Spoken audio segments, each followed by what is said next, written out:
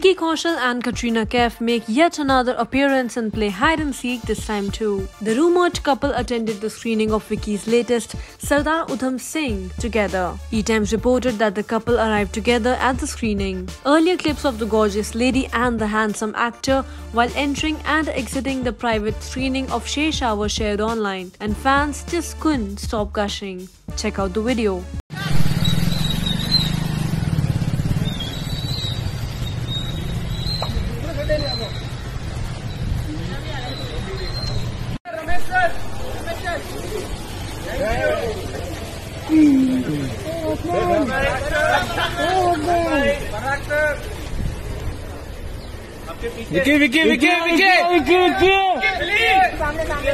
Vicky and Katrina have been rumored to be dating for a long time now. However, the two have never given in to the rumors. Most recently, there had been rumors of the couple getting engaged. However, actor Harshvardhan Kapoor confirmed their relationship.